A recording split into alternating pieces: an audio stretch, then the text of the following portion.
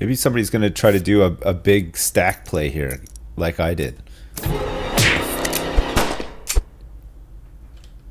That's fucking unbelievable. Somebody did the big stack play right on me.